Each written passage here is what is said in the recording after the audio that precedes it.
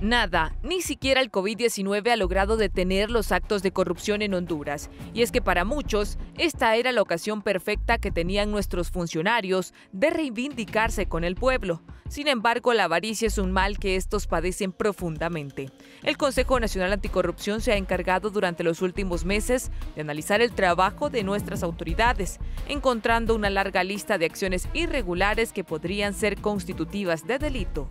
Estamos trabajando en otros informes, una vez que nosotros demos a conocer, eh, finalicemos, vamos a dar a conocer los resultados que finalmente se han obtenido. Seguiremos presentando informes, hasta la fecha van ocho. Eh, sin embargo, exigimos más al Ministerio Público que ya vea causas correspondientes. Nosotros vamos a seguir denunciando, no nos vamos a cansar, pero la ciudadanía quiere ver requerimientos fiscales. Vemos el tema de los hospitales móviles. Si usted se fija, nos trajeron chatarras eh, a, lo interno de estos mismos hospitales. Pudimos comprobar de que se compraron por parte de Copeco mascarillas que no eran para uso quirúrgico, sino para uso civil. Eh, identificamos compras sobrevaloradas con diferentes mascarillas por parte de inversiones estratégicas de Honduras, así como en algunos casos por parte de la Secretaría de Salud. Hay bastante evidencia y elementos suficientes que pueden permitir la presentación de un requerimiento fiscal.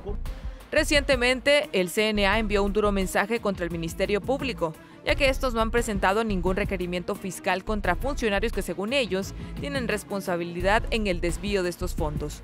Sobre el particular, en el último informe se menciona a la empresa GIT, por lo que el representante legal de la misma se manifestó este día.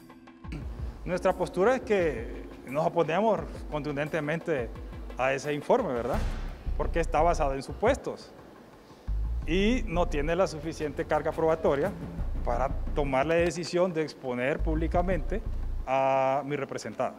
Bueno, es de público conocimiento, ¿verdad? De que la empresa GIT decidió cancelar la operación con el Estado y en vista que tenía también ya eh, en casa, digamos, en bodega, todos los insumos que iba a proveer, tenía que vender, aún sabiendo que iba a perder esos, esas mascarillas, hablando puntualmente.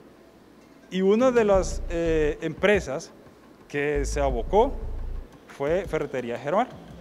Ellos compraron la ferrete, las, las mascarillas y posteriormente, pues, como el grupo GIT me representaba era el dueño, le pagaron pues la, la compra de las mascarillas y de esa forma Grupo GIT devuelve el dinero. Lo cierto es que el pueblo espera que en algún momento las autoridades actúen y los culpables se enfrenten la justicia por estos robos millonarios.